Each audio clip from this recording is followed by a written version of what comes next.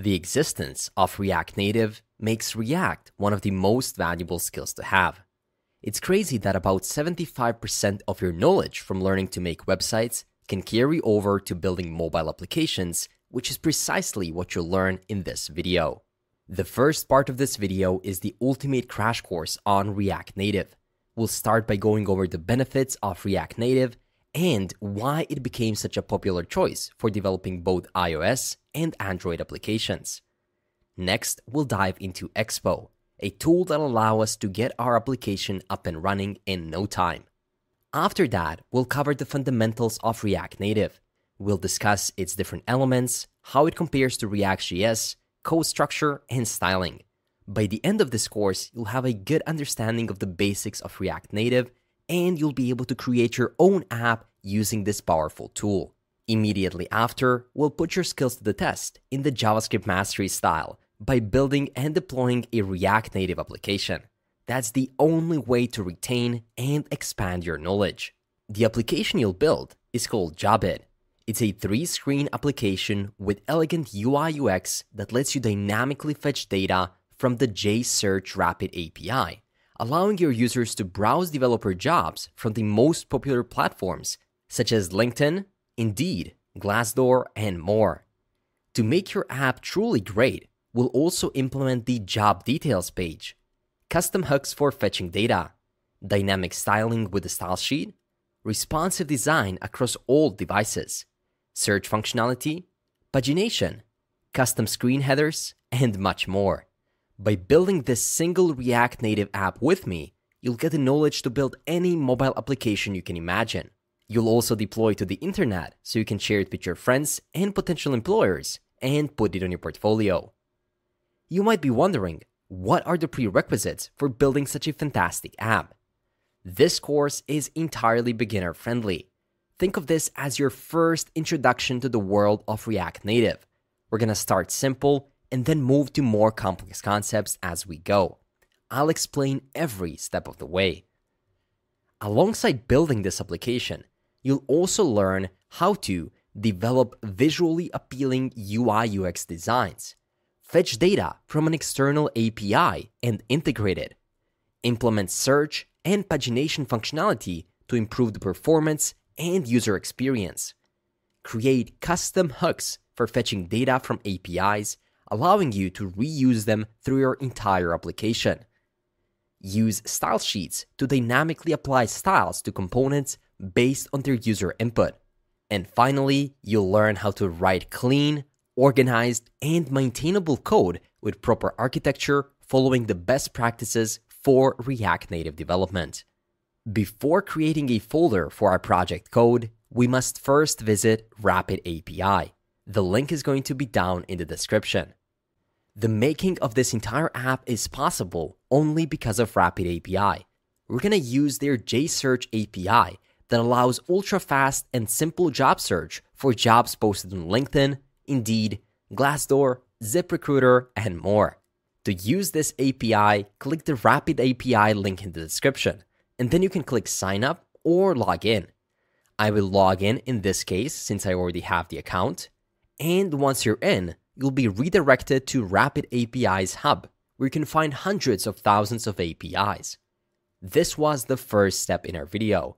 Now let's create our React Native application and then later on we'll call this API straight from our app. If this video reaches 20,000 likes, I'm recording a second React Native app. With that said, let's dive straight into the crash course.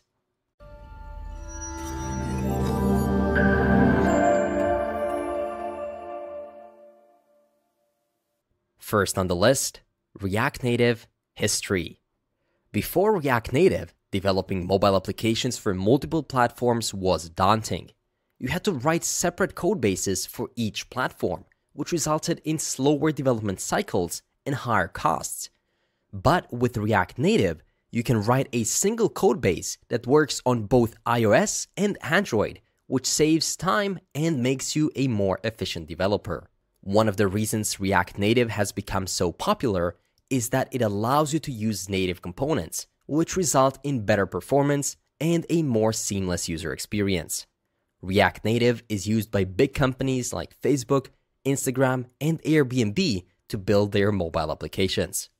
React Native Advantages On top of the cross platform compatibility and native components, the benefits of React Native are also hot reloading, which allows you to see the changes you make in real time, making the development process faster and more efficient.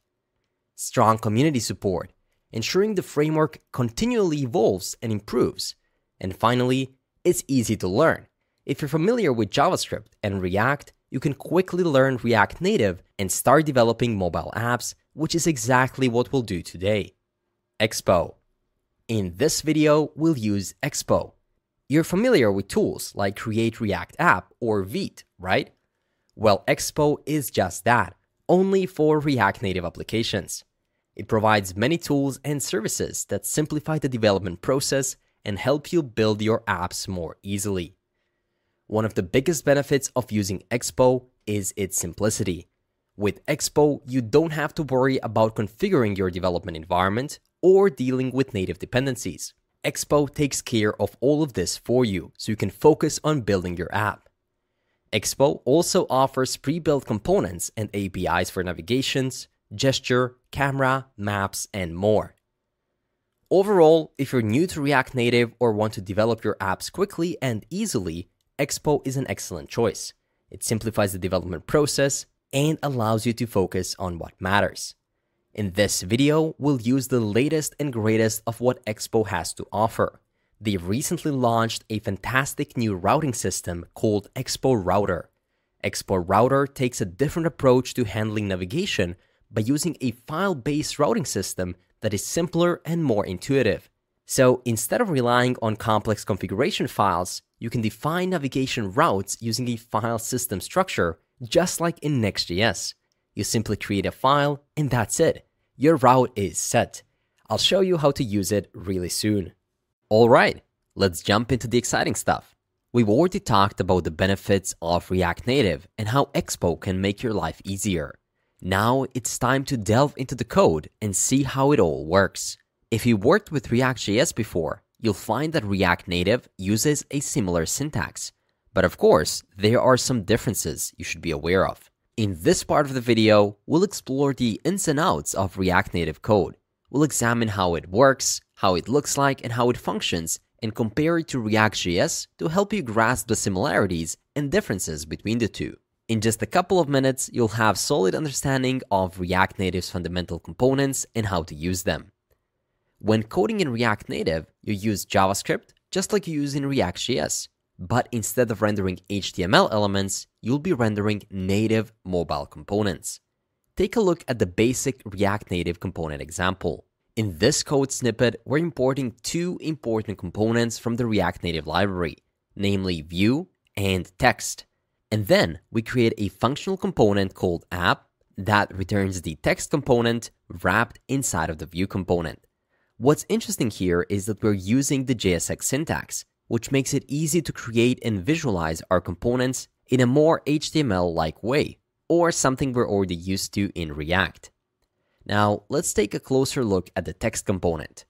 While in React.js we use p or h tags for text, in React Native, we use the text component instead.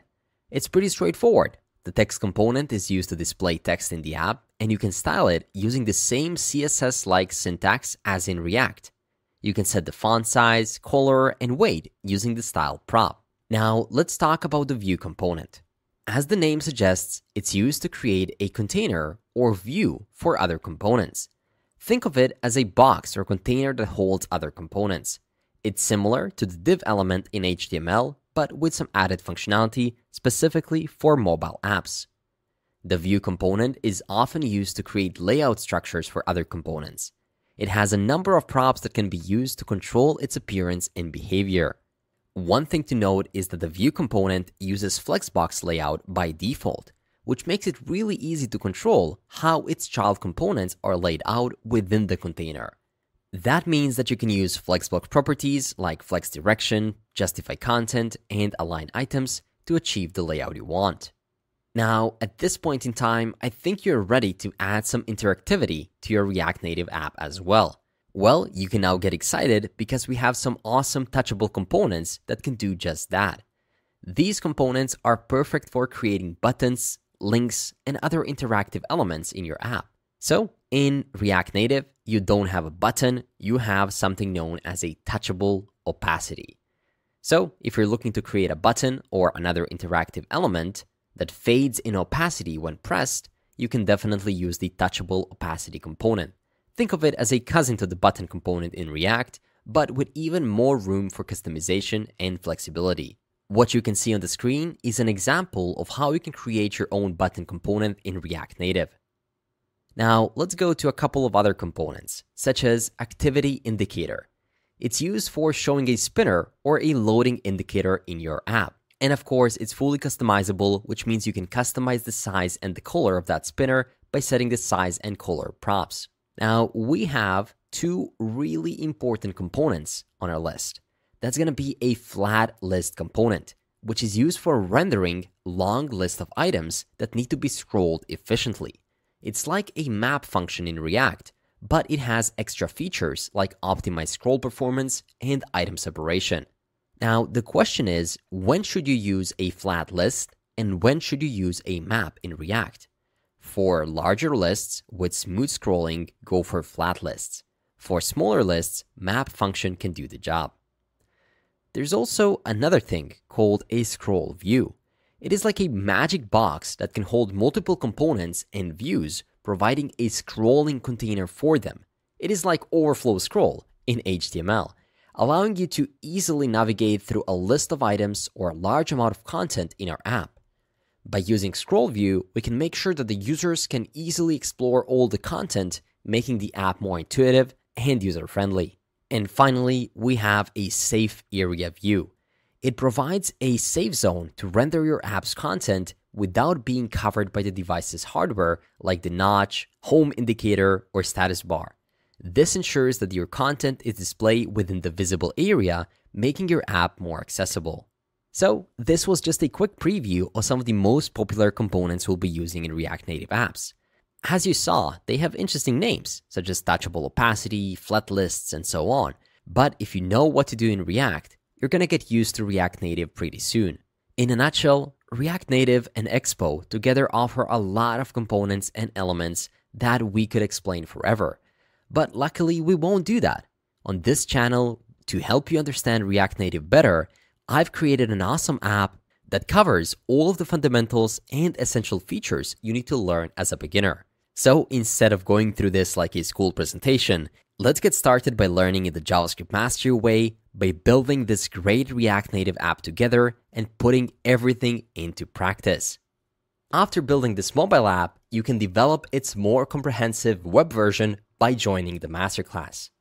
The JSM Masterclass experience helps junior and intermediate developers fast track their careers. You will develop real world applications in a team, which is more challenging than simply following a YouTube tutorial.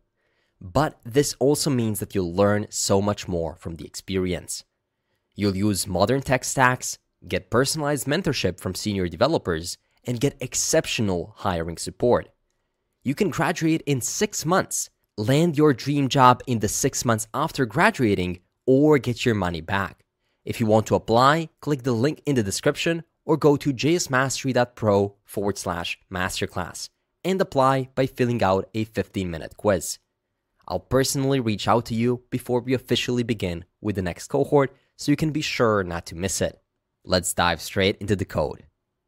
To begin creating our great React Native application, we can start from bare beginnings by creating a new empty folder on our desktop called React underscore native underscore jobs. And we can drag and drop it into an empty Visual Studio Code window. Once we are in, we can go to View and then terminal. That's going to open up Visual Studio Code's great integrated terminal. Once we have that ready, we can open up expo.github.io forward slash router forward slash docs.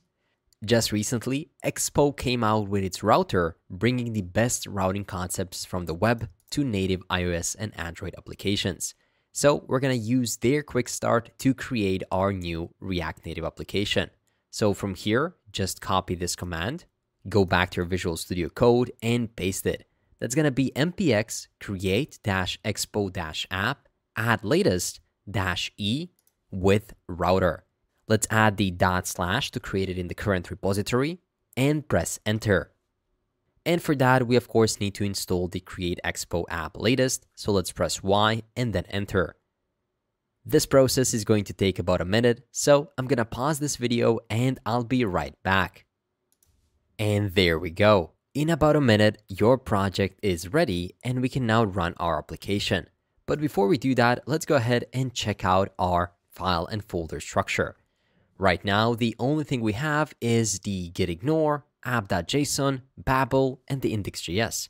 Almost nothing is there because we're going to create most of the things from scratch. So let's start by creating a new empty app folder. Inside of the app folder, we're going to have the index.js file, as well as the underscore layout.js file. These are the two most important files in a React Native application. Inside of the layout, we can import something known as a stack coming from expo-router. A quick Google search leads us to create our first layout route in app underscore layout.js, which is exactly what we have done. And now we have to import the stack and simply return it. Later on, we're going to use that stack to link to all other pages in our application. So we're going to do import stack from expo router, const layout, is equal to an arrow function that's going to simply return a self-closing stack component. And of course, we have to do export default layout. Great. Now we're going to go to the index.js and inside of there, we're going to import view as well as the text coming from React Native. We already talked about these in the intro. You can view the view as a div and the text as a regular p tag. And in here, we're going to create a const home is equal to functional component where we can return the view like this. And then inside of the view, we're going to have a text that's going to say home. And we can do export default home. Great. Now that we have our app and the layout, we can focus on installing a couple of additional dependencies. As you can see, most of the Expo and React Native dependencies have been installed for us, but we're going to need just a couple more. So let's go to View and then Terminal, and let's run npm install expo-font. We're going to use this to add a custom font, Axios, which we're going to use for API requests, and then react-native-dotenv. This is an external package that's going to allow us to work with environment variables and let's press enter. Great, the dependencies have been installed. What we can do now is run the application. And we can do that by simply running the command npm start. So let's do npm start. And now it's actually going to build and compile the application and we'll be able to scan it immediately with your phone so you can see it and test it in your own hand. So let's wait until the Metro bundler starts and you'll be able to see how easy it is. There we go. So you can immediately get the QR code, or you can also open it right in the browser by going to this URL. For now, I'm going to go to the QR code. And the next step you have to do is to install the Expo Go application on your Play Store or on the iOS Store. So by going to expo.dev forward slash client on your phone, or simply by going to the App Store or Google Play Store, you'll be able to download the Expo Go application, which makes it so easy to test our React Native applications. Once you download it, you can simply open the camera app on your iPhone or the Expo Go app on your phone, and then simply scan the QR code and click Open in Expo Go. As you can see, this is going to start the application, and apparently there's going to be a problem. So for some of you, this might work right off the bat, but in my case, it looks like the Wi-Fi is blocking the access from my phone. So let me show you an alternative solution. We can press Ctrl C to stop the server from running, and then I'm going to show you an alternative command you can run to make your app work on your phone. For that to work, we first have to run npm install dash -g expo dash CLI, and you can press enter. This is going to globally install the Expo CLI package, which we're going to use from now on to run our application. Once the package installs, you can run the expo dash CLI start dash dash tunnel command and press enter. This is going to run the Metro Bundler in a bit of a different tunnel mode, which is going to allow us to check our application from our phone. So let's wait until the Metro Bundler starts and we should be able to see that same QR code we saw before. And once again, you can open it on your phone and go to your Expo Go app. This time, it's going to say opening the project. It's going to bundle the JavaScript bundle, as you can see right here at the bottom. It's bundling it as we speak. And in less than a couple of seconds, you should be able to see your Expo React Native app right in your hand on your phone. And there we go. The bundle is complete, 100% done, and we can see our index and the home appear right here, which means that we have the bare bones of our application up and running on our iPhone or on your Android phone. Great. With that said, we can now close the package.json and open up the Explorer. Now, we only have our app, which is great, but to speed up our workflow, I've already prepared for you a couple of extra folders and files. They're gonna make our learning process so much simpler because you won't have to worry about some nitty gritty details. You'll be able to focus on what actually matters, which is coding the logic of a React Native application. So, to allow you to do just that, I prepared a starter code for this React Native Jobs project. You can find it linked down in the description, and you can download and unzip it. Inside of that zipped folder, you'll find four additional folders, and you can slowly bring one by one to our great application. First of all, we're gonna bring our constants folder into here, and you can press copy folder. Inside of the constants, you're gonna see some simple things such as icons, images, themes, and index. These are just some helpers that we're going to use to make the development of our application simpler. After constants, we're going to also get our styles. So once again, you can copy that folder right in here. And in here, we have the styles for the search page of our great application. After the styles, we're going to bring in assets. Inside of assets, you can see all of the fonts, icons, and images that we're going to use through our great application. And finally, and most importantly, we're gonna bring in the components folder into our application. And now you might be thinking, oh, look at that components folder. It is full of additional folders and files. Am I going to build anything by myself or not really? Well, you will. You will build absolutely every single little detail by yourself because if you look into any of these components, such as home, nearby, you can see that it contains nothing. Inside of here, we just have an empty function. And it's the same thing for every single other component. The only thing I provided you is the file and folder structure, which you can learn from right here by looking at it. But every single file is actually completely empty. It contains absolutely nothing besides the styles. So as you can see, the styles will be provided. You can still learn from them. But the actual logic, the JSX, the React Native elements, everything else we'll be using is going to be written 100% by you, and you're going to create this entire React Native application by yourself.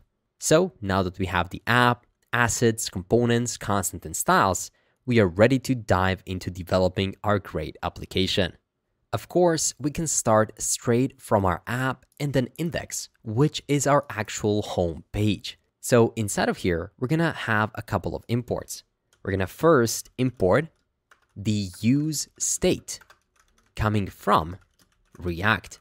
We're already used to this, right? After that, we're gonna get the view as well as a scroll view and finally the safe area view coming from React Native. These are React Native components. And then finally, we're gonna also import the stack as well as the use router coming from Expo router. Think of this as a library similar to React Router. After that, we can import a couple of constants, these are going to be colors that we're going to use throughout our application. We're going to have icons as well as images and then some screen sizes like so. And all of that is coming from dot dot slash constants. And if you're interested to see how these look like, you can always jump into constants and for example, colors. And you can see that we have a couple of predefined values such as primary, secondary, gray colors, fonts, sizes, and so on. Great. After that, we're going to import a couple of components, which for now are completely empty, as you already know. We're going to import the nearby jobs, as well as the popular jobs. We're going to import the screen header button, BTN, as well as the welcome screen. And all of this is coming from dot dot slash components. We can even put it in a new line just so we can see everything clearly. Make sure that all of these are spelled properly so that when you hold control or command, you can click into it and go into that specific component. As you can see, they're all completely empty. Great. Now we can define our router by saying const router is equal to the use router hook like this. And we can start with creating our layout. Inside of here, we're going to wrap everything not in a view, but rather within a safe area view. If you remember the intro, the safe area view allows you to show the content safely without any notches or home buttons or anything appearing over it. And we can apply some inline styles, such as flex is equal to 1, as well as background color is equal to colors dot light white. And we can save that. Inside of there, we won't show the text saying home. Rather, we're going to render the stack dot screen like this. And that's going to be a self-closing component to which we can pass some options. It's going to be a parameter of options, which is going to be an object to which we can provide a header style. And that header style is going to be an object with a background color equal to colors dot light white. Now, if we save this, we can still see home on the screen. So what you'll have to do sometimes, and you'll have to trust me on this one, I want you to take your phone in your hand and shake it, literally shake it around, and you're gonna see a menu appear. Yes, that's right. To allow for regular use of your application, you can always test it out. But if you want to get to extra options by React Native or Expo, you can shake it and you're to get an extra menu appear right here. For now, we want to click reload right there. So see what I just did? And therefore, we're going to get an error. The error is saying that we cannot get dot dot slash constants. So apparently, we have an issue with this import, even though it's properly pointing to all of these properties. So where could the issue be? The index is in the app and all of the other files are right here. So what if we try to dismiss this error? Still, we cannot see anything. If we reload it one more time and reload JS, still the same thing. Now, we can open up the console and see that it says that none of these files exist, even though they do. So what we can do is we can try pressing R, which is going to reload the app, and still the same thing. So let's stop it from running by pressing Control C and then let's run the Expo CLI start tunnel one more time. Maybe we made a lot of changes to our file and folder structure, so it got stuck a bit. So let's simply run the Metro Bundler one more time, use our camera or Expo Go app one more time, and then we can scan the QR code one final time and hopefully the changes and new files will be there. There we go, the QR code is there. I'm gonna scan it, open in Expo Go, opening project, it's building, and hopefully it's going to build not to an error, but to our regular screen. And that is it. We can just see the index right there, which is exactly what we were supposed to see because we don't have anything there. But the most important thing is that we don't have any errors. So now we can proceed with the development. Right below our header style, we can also provide the header shadow visible and this is going to choose whether to hide the elevation shadow on Android or the bottom border on iOS. And it's really cool that it even tells you here what it's to do based on the operating system. So let's set that to false. And there we go. Now you cannot see it. Now what we can also do is we can add an additional property called header left. And that's going to be a arrow function that's going to immediately return the screen header btn as a self-closing tag. This is a component we are yet to create. And we can also pass the icon URL equal to icons.menu. And we can also give it a dimension equal to 60%. Next, we can add a comma right here and duplicate this below and change this to header right. And there, we're going to give it the icons of profile and dimensions of 100%. Great. Now you can see that we have screen header button on the left side, the index in the middle, and then the screen header button on the right side as well. And we can also override the header title to be just an empty string. That way you won't see the index in the center. Great. Now let's focus on adding something below the navigation bar. That's going to be a scroll view, meaning you'll be able to scroll through it. We can also give it a prop called show vertical scroll indicator and set that to false because we don't want to show it. Users already know that they can scroll it up and down. Inside of the scroll view, we can also give it a regular view. And that view is going to have a style property equal to flex is 1, as well as padding is equal to sizes dot medium. Now, if we save this, you won't be able to see something because this view is currently empty. So in that view, we can render a self-closing welcome component. Right now, it simply says welcome because it is empty. Later on, to that component, we're going to pass some props as well, but for now, it can look like this. Below the welcome, we're going to also have a popular jobs self-closing component, as well as nearby jobs. So we can change this to nearby jobs. And now you can see that popular jobs doesn't exist. That's because it has a lowercase j. And if we fix this, you can see we have screen header btn, screen header btn, welcome, popular jobs, nearby jobs. Everything we need to get started. So what do you say that we get started from top to bottom? First, starting with the screen header btn. You can control click it to go into that component. And then right there, we can implement it.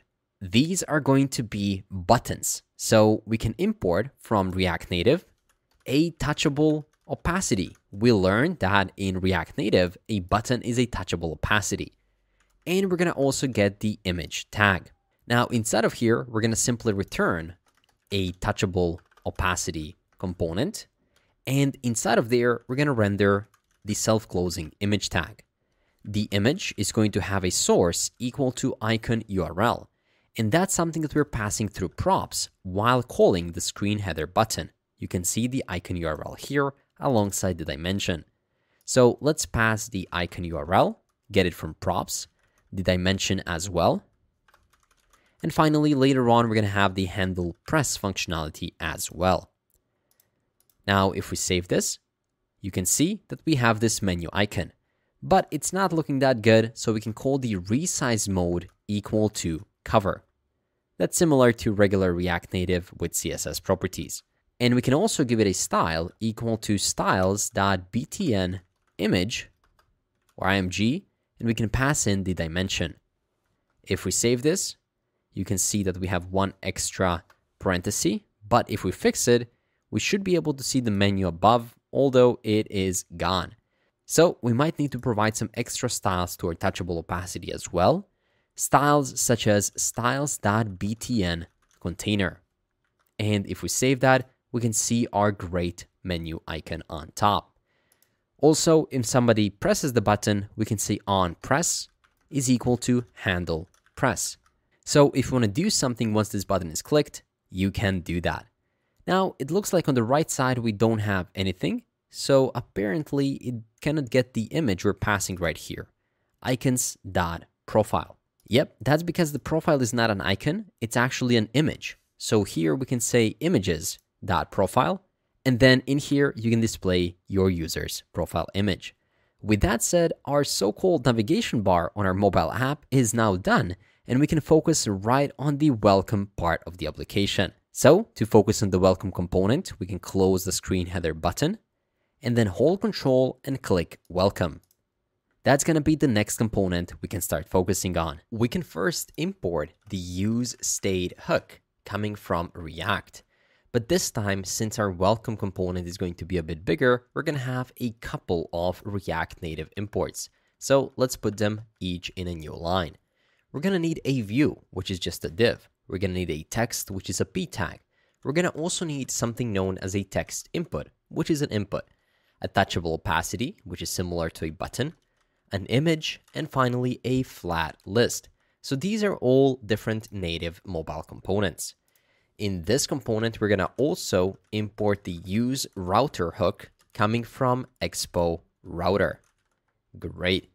Now we are already importing the styles and we're going to also import some constants. So let's get the icons as well as the sizes coming from dot dot slash dot dot slash dot dot slash constants.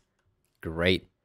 Now, inside of here, we can immediately declare our router by saying const router is equal to router. And we can start creating the layout of our welcome component. First, we're going to have a view, and then within that view, we're going to have another view. This view is going to have a style equal to styles.container. And if we save it, nothing's going to happen because currently it's empty. So let's add a text element that's going to say, hello, Adrian. This can be your name right here.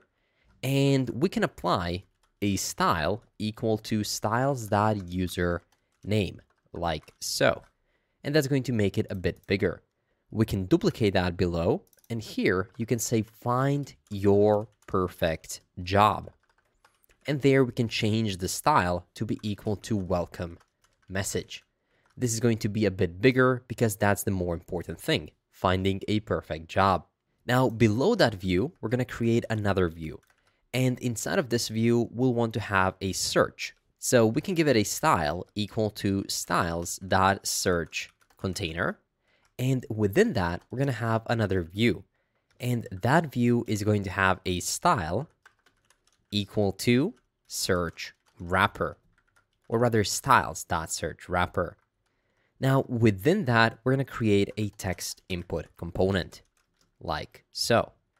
That text input, if we save it right now, is going to be a basic, really bare bones looking input.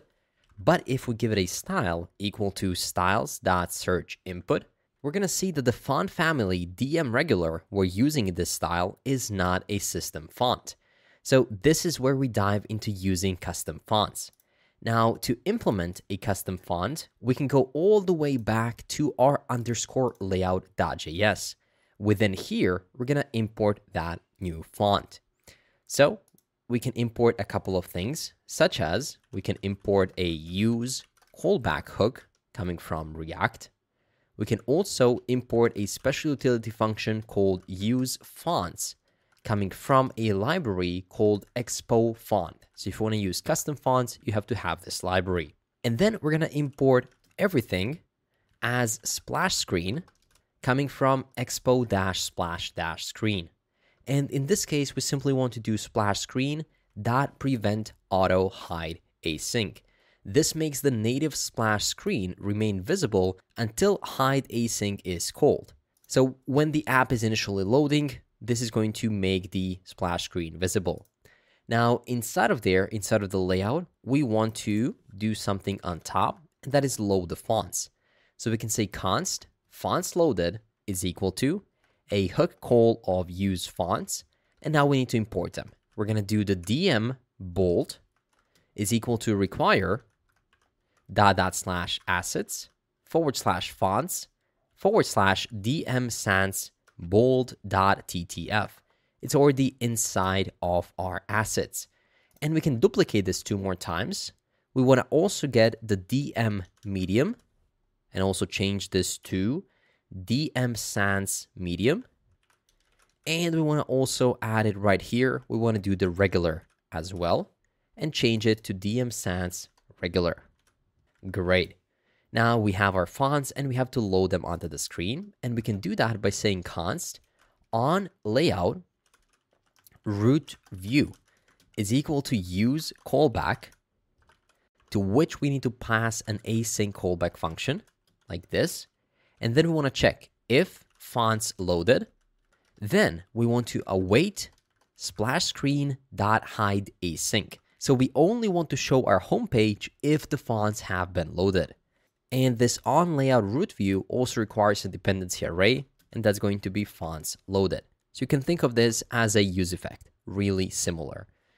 Finally, we're going to say if no fonts loaded, then we want to return null. And if the fonts have loaded, we want to return a stack with the on layout function equal to on layout root view. There we go. So the only thing we've done here is we've ensured that the fonts will be loaded.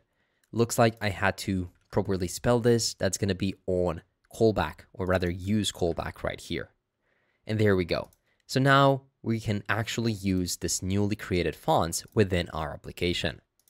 Going back to welcome, we can now pass the value to this search, and the value is going to be a new state field that we have to create. And the value for now is going to be just an empty string.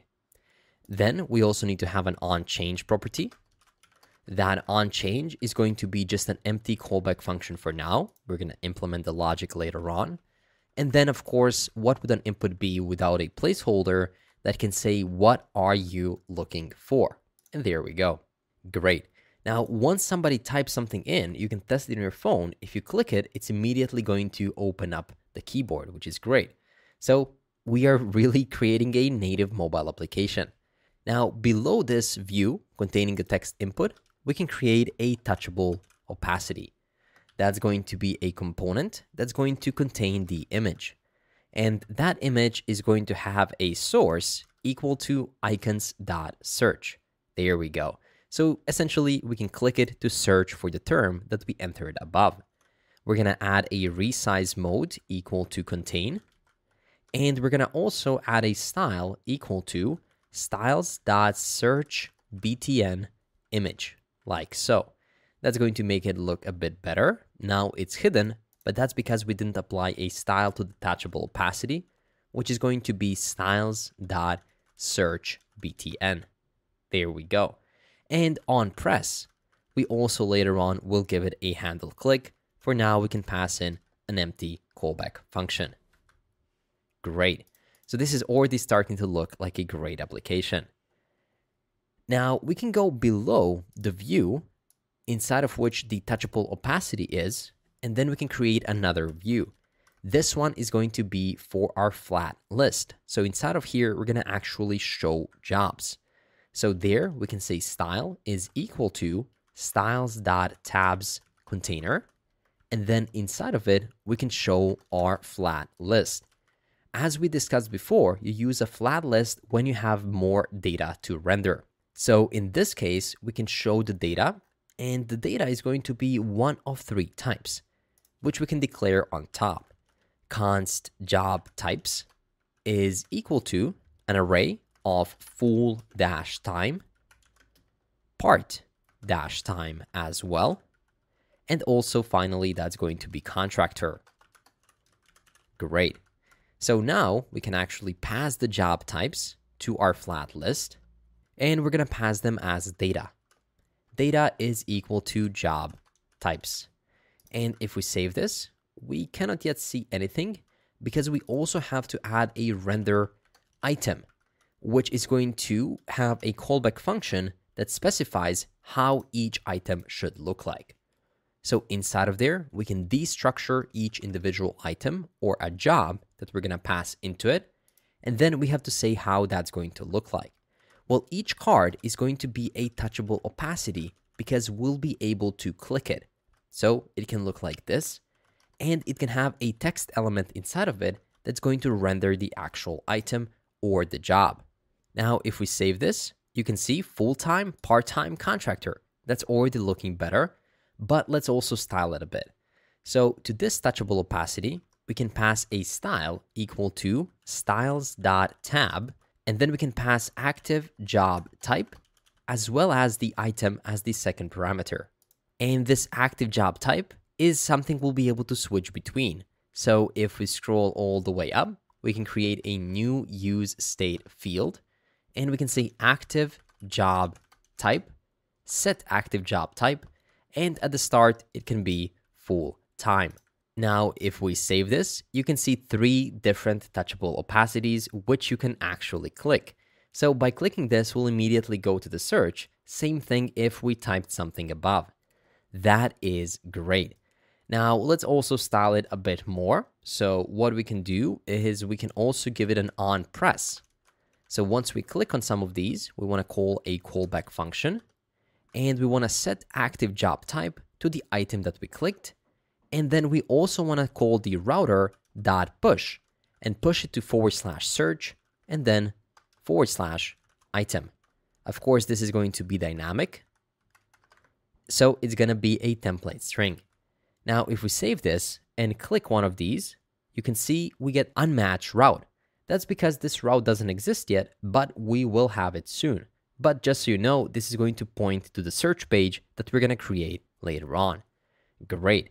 Let's also style the text a bit by giving it a style equal to styles dot tab text, we can pass the active job type as well as the item. And if we now save this, you can see that the only contractor is clicked because that's the selected one right now. And if we click full time and go back, the full time is the selected button. Great. Also, in the flat list, you also have to provide another prop. So if we go right here where we have additional props, we can say key extractor is item pointing to the item. If you hover over that, it's going to say that this is used to extract a unique key, similar to what we're doing in React Maps. Great. We also have the content container style. So we can specify that the column gap is equal to sizes dot small and also add the horizontal prop you're going to see that these pills are going to appear one next to each other. So this is already looking so much better. And also, if we had more, since this is a flat list, you can move them around. So if you add a couple more, you'll be able to see all of them. Now we have the search and we also have these select fields. Of course, as you can see, the on press is pointing to search, which we don't yet have. And above the on press is not really doing anything because we don't yet have the logic for it. But no worries, we're to focus on the UI first, and then we're to do the logic. With that said, the UI UX part of our welcome screen is now done, which means that we can go back to the index and we can go to the popular jobs. This is where we'll actually be able to show the most popular jobs from the API that we're going to fetch. So now we're diving into the exciting stuff Let's get started by creating our popular jobs component. To get started with the popular jobs, we can first import the use state hook coming from React. Then again, we'll be using a couple of other components from React Native, so let's import them as well. That's going to be view, text, touchable opacity, and then also the flat list, but this time also the activity indicator.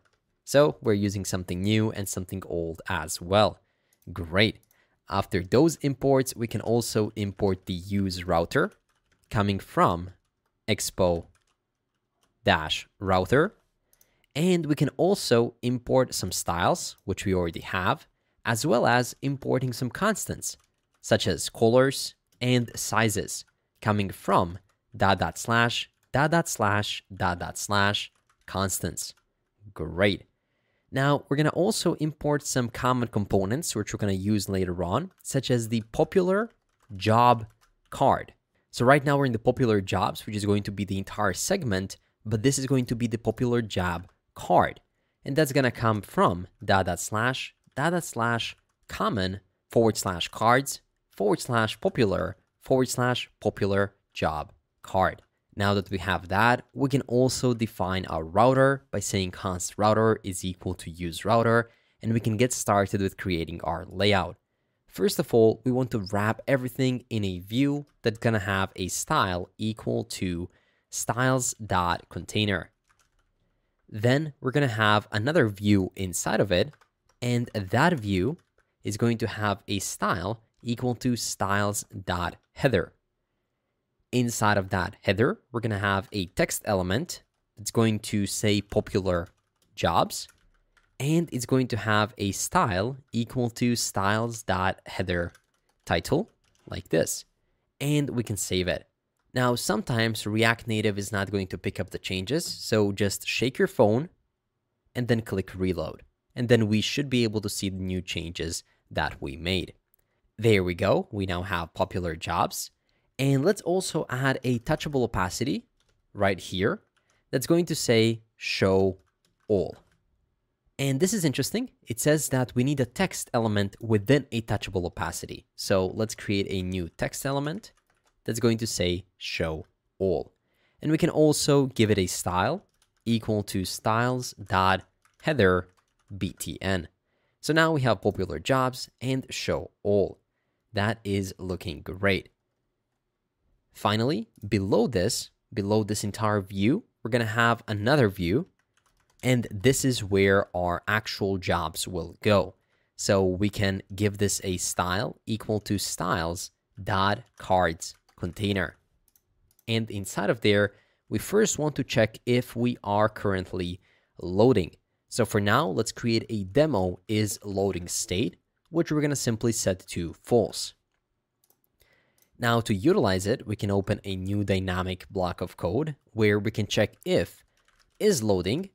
Then we want to show the activity indicator. So this is a React built-in spinner that's going to show us that we are loading it's going to be the size equal to large and colors equal to colors dot primary.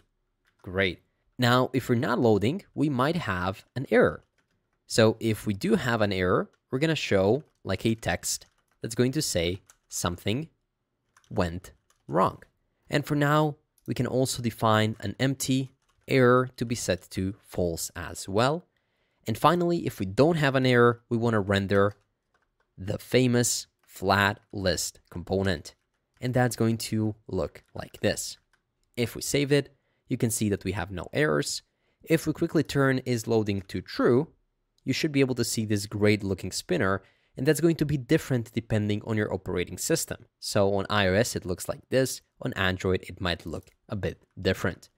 Now I'm going to turn this to false so we can create the actual list the most important part of the list is the actual data. So for now, we can create something that looks like this, where we just have the numbers, because we haven't yet fetched the real jobs from the API. So for now, we can do something like one, two, three, four, and that's just gonna be numbers in an array. The second most important thing is how we're gonna render that data. So we can have a render item property that's going to have a callback function that looks like this, and then we can choose what do we want to render for each one of these items. In this case, we want to render a popular job card. Now, to get the data for each one of these popular jobs, we can destructure it right here within the callback function. So we're going to get the item, and we can pass the item as item to the popular job card. If we save this, you can see that we do get four popular job cards, that's because this is always returning a text of popular job card, no matter what data we pass to it. We also said that we need to give it a key extractor, same as we do in React. In this case, it's going to be item question mark dot job underscore ID. This is going to be one of the keys once we actually pass the real data. For now, it's going to say that each key in a list should have a unique key prop and right now we don't unfortunately have that, but we will once we fetch real data.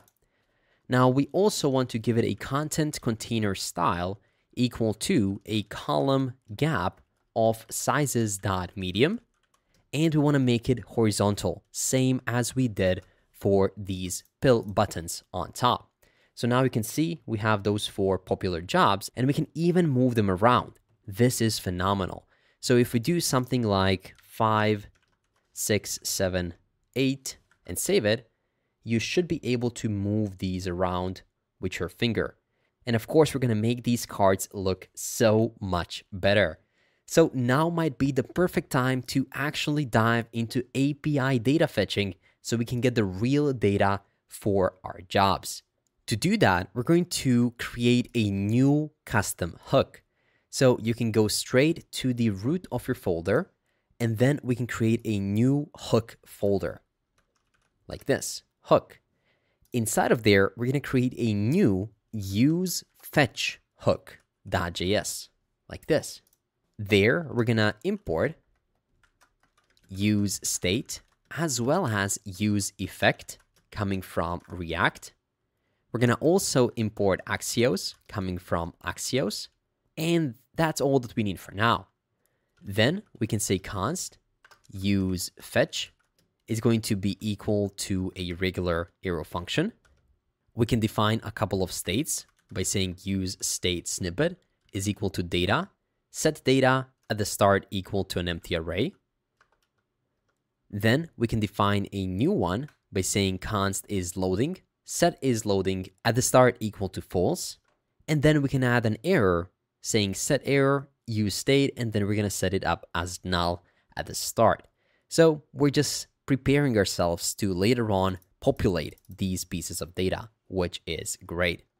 So finally, now is the time that we go back to Rapid API and get our key and the endpoint to make a call to the JSearch API to fetch back all of these amazing developer jobs. So let's do that right away. And we are back on Rapid API's hub.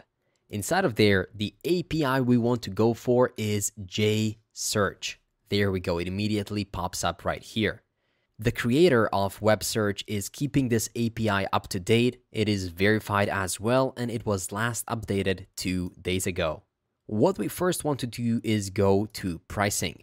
Inside of here, you can see that I'm a paid member of this API, but for you, it's going to be completely free. You can subscribe to this basic plan that's going to allow you to make 500 requests a month. In case you want to go over that and really make the best of this React Native application, you can always update to the Pro plan. I even spoke with the OpenWeb Ninja, and if you send them an email and said that you're coming from this video from JavaScript Mastery, they're even gonna give you a bigger discounts for the paid plans. But with that said, you can subscribe and then we can go back to endpoints. The endpoint we'll be using right here is going to be search. So for now, we can click test endpoint just to see what data does it give us. As you can see, the demo query was Python developer jobs, and immediately you get 10 jobs back with all of the data we need. So, how to use it? Well, go to code snippets and let's copy this entire options part right here. Once you copied it, you can simply paste it right here below our use states. Const options method is get the URL is going to be this one, but we're going to make it just a bit dynamic by turning this into a template string. And we're going to change this API based on what we want to do. We're going to reuse this use fetch hook, first of all for search, and then later on for the job details. So that means that we have to have a changeable endpoint, just like so. So the endpoint is going to come as a prop to our use fetch hook looking like this. Great. Now, in the headers that we have right here, which we can bring a bit up below the URL and add a comma, these headers contain your API key, which is not something you want to leave right here for everybody to see. So you can copy this API key, move it from here, and we want to use that as a special environment variable. So let's go to our file explorer and let's create a new .env file at the root of your directory called .env. There you can say rapid underscore API underscore key is equal to, and you can paste your own key. Don't use this one, create your own. Trust me, you have a lot of free requests to make. Great. With that said, we now need to reload our application because the environment variables have changed. So it might even say it right here. Not really, but let's refresh it just to be sure. So press Ctrl C to stop the server and then rerun the command expo CLI start dash dash tunnel. That's going to make sure that the changes that we make to our env are reflected in our application. So let's wait until we see a QR code, we can scan it and be right back. And there we go, I'm back, but just to be sure, I'm gonna also reload the application to be certain that we have the latest and greatest of our data. Now we're gonna get an error because in here we don't have a key. It's currently empty. So what we can do is we can create a new variable at the start, const rapid API key is equal to, and now we can get the real API key by saying import inside of curly braces, rapid underscore API underscore key is coming from add env. And now we can set the key to be equal to this key we're getting. We should be able to use it just like this, but I found that sometimes it doesn't get it if we don't mention it sooner in our app right here. So instead of referencing this variable, we can reference this newly created variable we have created, rapid API key right here. Also, here we have the statically typed parameters. Page 1, number pages 1, and query is Python developer in Texas. But we want to be able to pass a dynamic query to this API. So for now, we can say that params are going to be equal to an object where we spread the query that we pass into this hook. So next to the endpoint, we can also pass a query to make it dynamic. Great.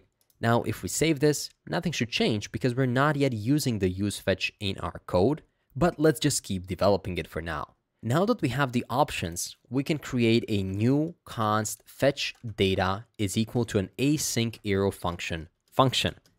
And we can first set is loading to true because once we start fetching, we want to load it.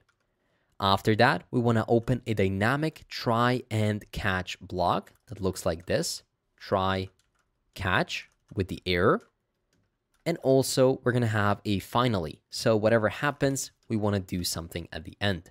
Now, while we're trying to fetch it, we can say const response is equal to await axios dot request, and we're going to pass in the options to it. Once we get the response, we want to set the data to be equal to response And we also want to set is loading to be set to false.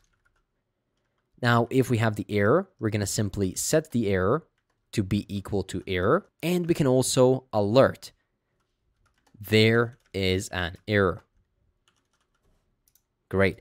And finally, we want to set is loading to be set to false. Now, we have this fetch data function, but we're not utilizing it. So below it, we can create a new use effect block where we're going to simply call the fetch data function like so. There we go. And we don't have to have anything in the dependency array. Finally, I noticed that there were some problems with trying to refetch the data. Sometimes once we click it, it wasn't properly loading. So what I created is a new refetch function. So that's a function called refetch, which is equal to an arrow function. And there we can set is loading to be equal to true. And we simply want to refetch the data if necessary. So we have that at our disposal as well. Now with all of that done, the most important part of the use fetch is to actually return some data. So at the bottom, we can return an object that's going to contain the data, the is loading, the error, and the refetch. And we can now utilize this function from within our popular jobs and elsewhere as well. So with that said, we can now import it by saying import use fetch coming from dot dot slash dot dot slash dot dot slash hook forward slash use fetch. Keep in mind we called it hook without an S, so just so you know.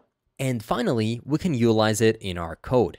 We no longer have to have these dummy values of is loading and error because now we can destructure the data, the is loading, as well as the error dynamically from the use fetch hook. Of course, it takes in two parameters. The first one is the endpoint. In this case, it's going to be the search. And the second one is what we want to pass for it. We're going to pass in the query as React developer. And we're going to also pass the num pages is equal to 1.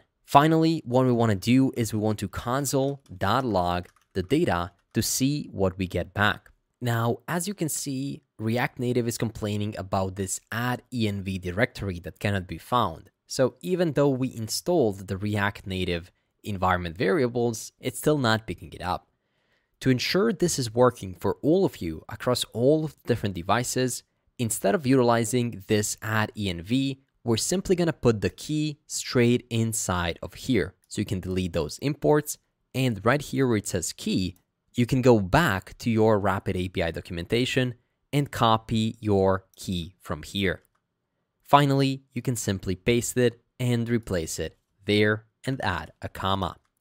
If we now reload that, go back, shake your phone just a bit and reload, hopefully now it's gonna be good. And there we go. Now we have object is not a function, which is coming from popular jobs. So where could that be? And that's coming from React popular popular jobs. So straight from here, object is not a function. And that could be that we're trying to use this use fetch function as a function, right? But if you go to it, if you go to this file, you can notice that we forgot, or rather I forgot to export this function. So right at the bottom, we can do export default use fetch. There we go. And this should already be so much better. So to get started with the popular job card, we can import a couple of things from React Native. We can import the view, the text, the touchable opacity, as well as the image coming from React Native. Finally, our entire card is going to be some sort of a button. It's going to be a touchable opacity because once we click it, we can visit that job details page. To that touchable opacity, we're going to provide a style equal to styles.container, and we want to pass the selected job as well as the item. And on press, we want to call an empty callback function that's going to call the handle press function and pass the job we want to press. If we save that, we can see some white divs appear right here. Now, inside of that touchable opacity, we're going to create another touchable opacity. Yes, you can do that just like you can nest divs within divs. So here we can create that touchable opacity and give it a style equal to styles.logo container. We can call that as a function and pass the selected job as well as the item. Inside of there, we simply want to render the image. That's going to be a self-closing tag. And it's going to have a source equal to an object where the URI is equal to item dot employer underscore logo. And if we save that, you can see that now we have empty boxes right here. We also want to give it a resize mode set to contain. And we want to give it a style equal to styles.logo image. If we save that, you can see the logos appear right here. We have some great companies and some are empty because maybe they don't have logos. So in case they don't have it, we want to definitely show some kind of a placeholder logo, but we're going to do that soon. Great. Now we can go below our touchable opacity, which is our image, and we can create a text property where we can simply render the item dot employer underscore name. If we save that, you can see the name of the company appear, and we can style it a bit by giving it a style equal to styles dot company name. And we can also give it a special property, number of lines is equal to one. So it's going to appear in one line. There we go. This is looking so much better. Now we want to add more information about the job, not just the company logo and name. So below this text element, we can create a new view. It's going to have a style equal to styles.info container. And below it, we want to create a new text element that's going to have a style equal to styles dot job name to which we're gonna pass the selected job as well as the item. And we wanna simply say item dot job underscore title. React Native Developer. Lead React Developer. This is looking great. We are already getting all of the positions. And you can notice this one is a bit longer. Let's find it. There we go.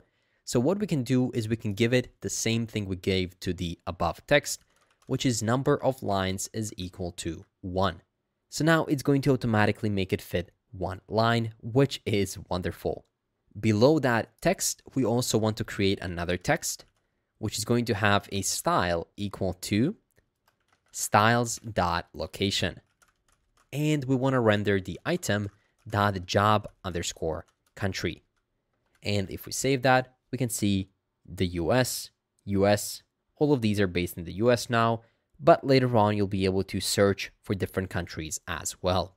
And believe it or not, this is it for our popular jobs card. And we can even click them, but right now they're not pointing anywhere. Later on they will. But overall, this is looking great. Now, the only thing that is still bothering me is that some of these don't have the actual image. So we need to make a utility function that's going to check whether the company actually has a company logo. To do that, we can go to our file explorer and create a new folder called utils, short for utility functions. Inside of there, we can create a new index.js file. Now, on the internet, I found a helpful function that can check the image URL and show us whether the image actually exists. It essentially tests it and it gives us a 200 if it works. Now, down below in the description, inside of the GitHub gist, you can find the code for the check image URL function, and you can simply paste it right here. Once you do that, you can come back to the popular job card. We can import the check image URL that's coming from dot dot slash dot dot slash dot dot slash dot dot slash utils. And now, instead of rendering just the employer logo, we can do some conditional checking. We can check image URL and pass the item employer logo. We can put this in a new line. If it gives a true response, then we indeed can render the item.employer underscore logo. If it doesn't give a true response, we can render a string of a default dummy job post. So we can do it like this. And you can find this string also in the GitHub gist down below. It's gonna simply point to a logo that looks like this, job. There we go. But now we have a different problem. It's saying that it cannot get check image URL from dot dot slash dot dot slash dot dot slash utils. So let's save it, go there, and we can indeed see that it is here. So let's try to simply shake our device and reload the application. And unfortunately, still the same thing. So whenever you add some new files, React Native development can be tricky because sometimes it doesn't get it right away. So let's open up our terminal, press Ctrl C, and let's rerun our server by running expo CLI start tunnel. And then you can simply rescan the QR code. Again, I know this can be a pain in the ass from time to time, but we are developing mobile native applications for both iOS and Android, so there are definitely a lot of gotchas here, and we can be thankful for React Native for allowing us to do that. Great. Now let's scan this QR code with our camera app. And once you do that, it's going to reload it and it's going to refresh it. And there we go. Now, if a job doesn't have a logo, it's going to have this demo job logo that we are showing. This is looking great. And with that said, we are done with the popular job card. We are done with the use fetch as well. And we can go back to index and create the most important part of our app, which are nearby jobs. Essentially, that's going to be a similar thing we have right here with the popular jobs, but rather they're going to be shown in a vertical list instead of a horizontal one. So we'll be able to scroll through them. So let's go into the nearby jobs and let's start implementing it right away.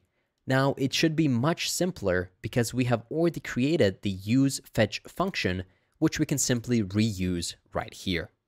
Great. So, on that note, to get started with our nearby jobs, we can go back to index, jump into the popular jobs, and simply copy and paste everything we have right here.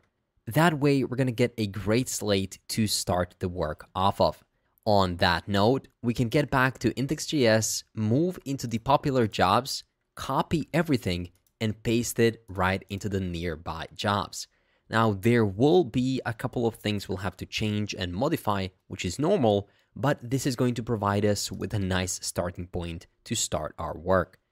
In this case, we won't need a flat list, so we can remove that from here. We just need view, text, touchable opacity, and the activity indicator. Okay, so that fits in one line right here. We don't need the use state hook, and also we're gonna need the use router the styles are going to come from nearby jobs dot style. We're going to need the colors. We don't need the sizes. And instead of the popular job card, we're going to need a nearby job card, which we can also switch right here to nearby. And also right here, nearby. We're going to use that same old hook. We can change this to nearby jobs as well as in the export right here at the bottom. And in this case, we won't need the selected job and the handle card press. The only thing we need is the router and the call to the use fetch function. So now if we save it, we need to make some modifications to our JSX as well. We can keep the container, the header, but instead of the popular jobs, it's gonna say nearby jobs. And we can leave this as show all. Now we need to check if we are currently loading. If we are, we want to show the activity indicator. Else, we want to show the text something is wrong. And in this case, we won't be using the flat list. Rather, we'll simply loop over the data. So let's remove the flat list. And let's do the data question mark dot map, where we get each individual job, and we want to return a nearby job card for each job that we have. And now you can see we have two loadings, the popular jobs and the nearby jobs. The popular jobs render in a horizontal list, whereas the nearby jobs render right here, one below another. Now we can pass all of the data we need into the nearby job card by saying job is equal to job, key is equal to, let's do a template string of nearby dash job dash and then job question mark dot job underscore ID. And finally, we can also provide the handle navigate function, which is going to be a callback function calling the router dot push, and we want to push it to a template string of forward slash job dash details forward slash job dot job underscore ID. There we go. And if we save this, nothing's going to change immediately because now our turn is to dive into the nearby job card and then implement its UI and UX design. So with that said, let's get started with the nearby job card. Believe it or not, the nearby job card is once again going to be similar to the popular job card that we had right here. So let's jump into the popular job card. Let's copy the entire thing and paste it to the nearby job card there are to be just a couple of things we have to change. So at the top, the imports can remain the same. Then we need to import the styles from the nearby job card style, and then the check image is going to remain. In this case, we're not passing the item, we're passing the job as well as the handle navigate. And then also we're going to call it nearby job card, and we're going to also export the nearby job card. Now, inside of here, we're going to have a touchable opacity that's going to have a style equal to styles.container. It's also going to have an on press that's simply going to call the handle navigate. So this even fits in one line. There we go. And right now we have an error saying that the selected job doesn't exist. That's entirely fine because we don't need it at all the styles for our second touchable opacity are simply going to say styles.logo container. the image is going to check for the image, but it's not longer going to be an item. It's going to be a job.employer logo and then job.employer logo here as well. After that, we also have to change a couple more things. That's going to be a log image right here. It looks like there was a typo in the styles. So you can switch this to logo image in the nearby job card and then back to logo image as well. And then below the second touchable opacity, it's going to be a bit more simple. We don't need this company name. We just need a view that's going to be a text container this time. It's going to be a text where we're going to simply have the style dot job name. And then we want to render the job title. And below that, we want to render the job type as well, which is going to be job dot job underscore employment underscore type. And here it's going to be job dot job underscore title. So now if we fix this and reload our application, it's loading the popular jobs and the nearby jobs. And there we go. You can see that here we can scroll horizontally and we can see all of our great jobs. But now we can also scroll our app as we usually would, and we have a list of all of the jobs in a vertical list format. So it's a minimal adjustments. You can see that it's also the same photo right here as we have it above. And it's same information, but just in a different format, which allows us to show more jobs. You can think of these as popular jobs, as the top rated ones that should get more attention and then the ones below are going to be some regular jobs where there isn't a lot of info that we need to share. But with that said, believe it or not, the UI and the UX for the entire home screen has been developed.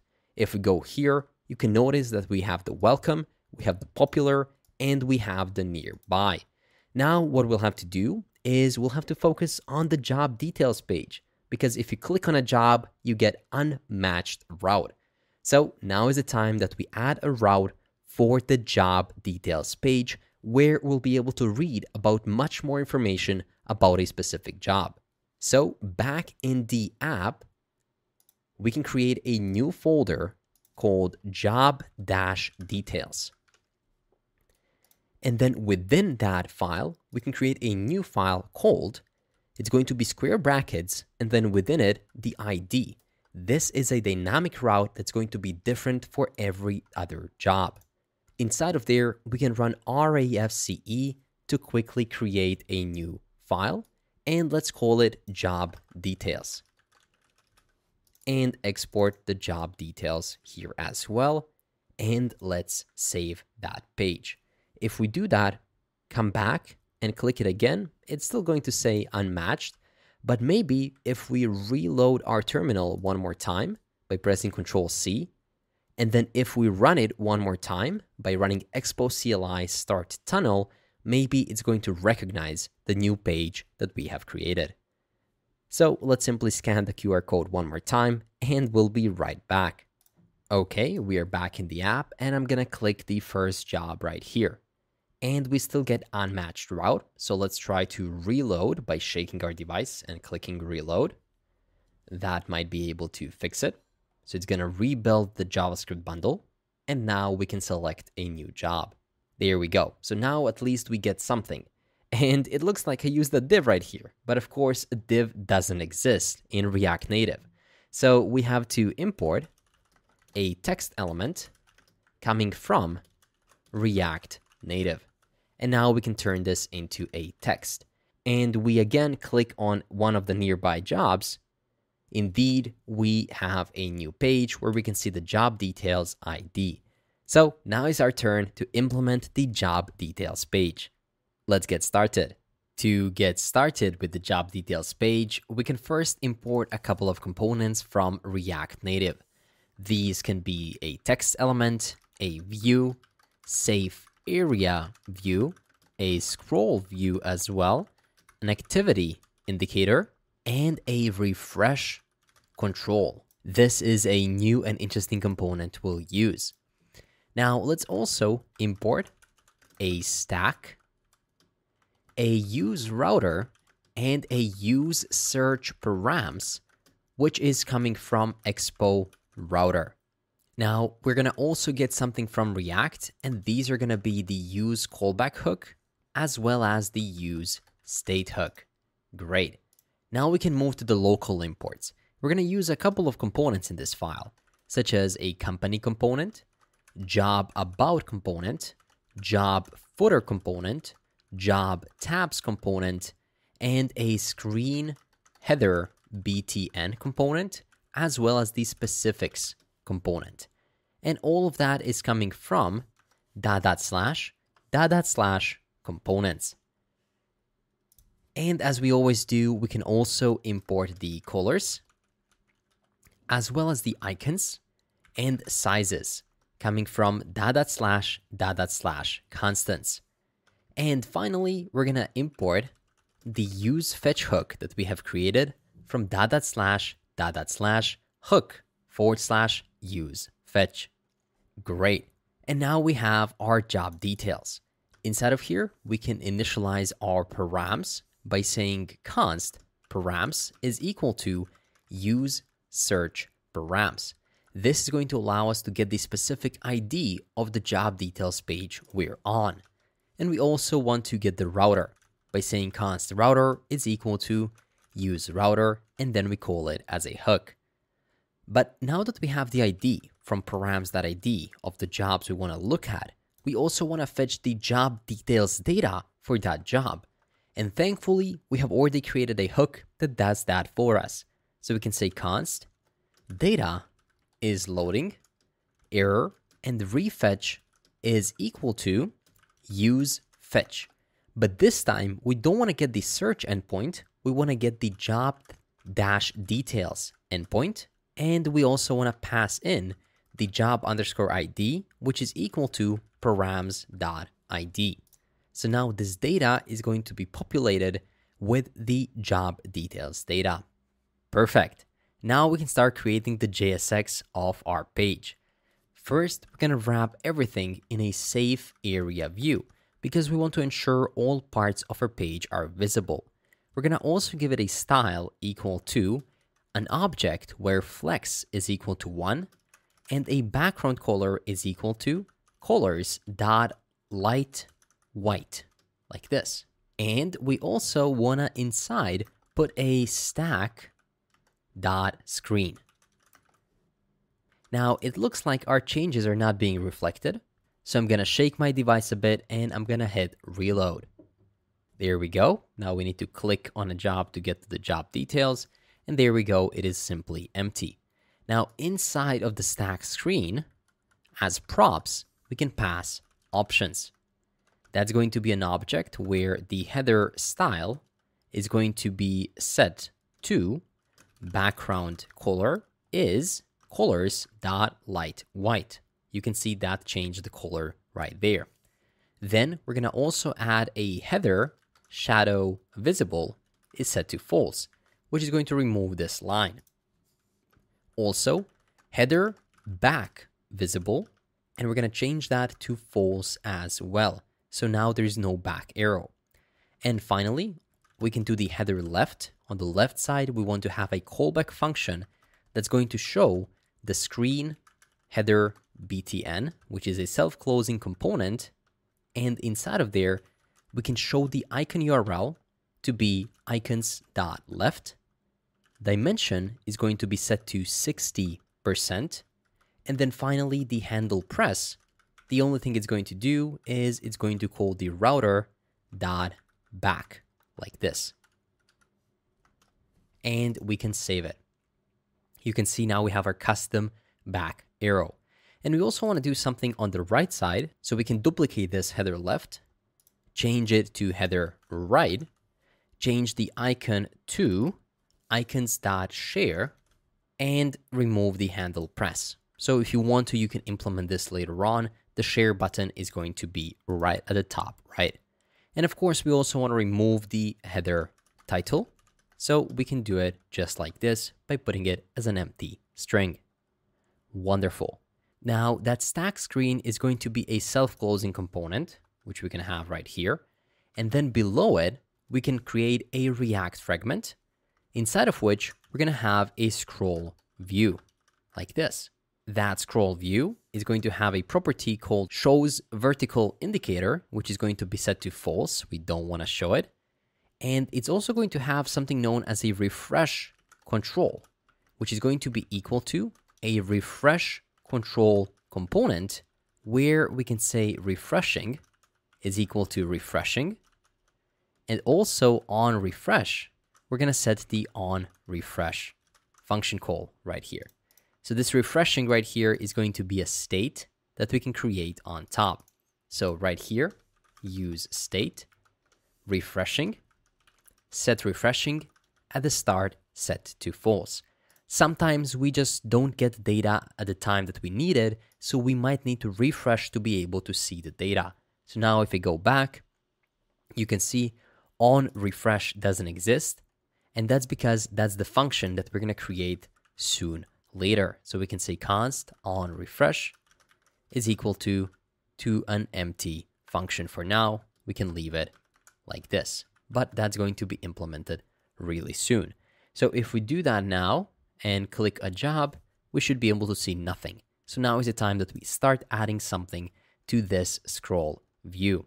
Inside of the scroll view, we want to know if we are loading. So we can say if is loading, question mark. Then we want to show, of course, an activity indicator.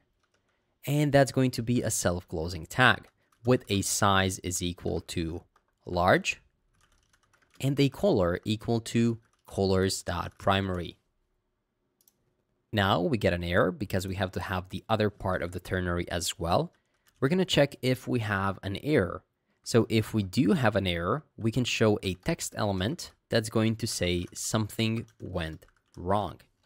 Then we need to make another check, and that's going to be if data.length is triple equal to zero, in that case, we can render another text saying no data.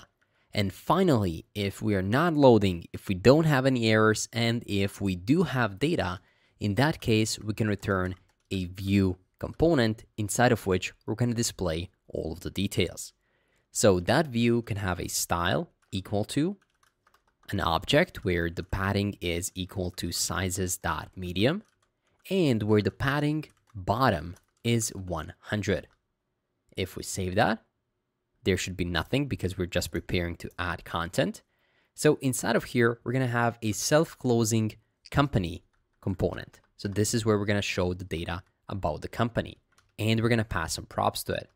After that, we're going to show the jobs tab or job tabs rather like this. And to it, we can also pass some data later on.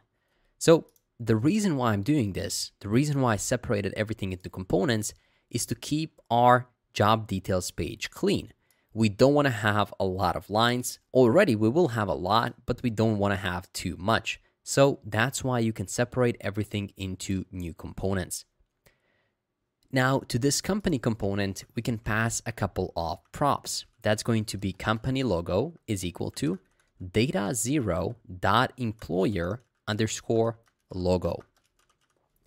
And we can duplicate that a couple of times. For the second one, we're going to pass the job title, which is equal to data zero job underscore title. Then we can pass a company name, data zero dot employer underscore name. And then we can have a location, which is going to be equal to data zero job underscore country. And now we're passing all of those props to the company page. So let's move in there and let's implement its layout. This is going to be our usual component where we're going to have a view, a text, and an image. We're importing some styles, and we can also import inside of curly braces icons coming from dot dot slash dot dot slash dot dot slash constants. And we can also import the check image URL utility function that we have created before. Now, inside of the props, we are getting the company logo, the job title, the company name, and finally, a location. Everything is going to be wrapped in a view that's going to have a style is equal to styles.container. Inside of that view, we're going to have another view that's going to be used as a styles.logo box. So that's where the image is going to be. That image is going to have a source equal to. We first want to put it inside of an object such as URI, and then we want to call the check image URL and we want to pass the company logo to it. If that is true, we can render a company logo. If it is not true, if it doesn't have it, then we can render that placeholder string that you can find in the GitHub gist down below. That's going to be that same logo company image that we had before. So there we have it. And we also want to give it a style equal to styles.logo image. And there we go. We have this default logo. That is great. Now below that view, we want to create another view. And this view is going to be for the text that's going to contain the job title. So text with a style equal to styles.job title, and then we render the job title. Of course, we can style the view itself a bit by giving it a style equal to styles.job title box, like this. There we go, just to provide some spacing. Finally, below that view, we're to have another view, and that view is going to have a style equal to styles.company info box.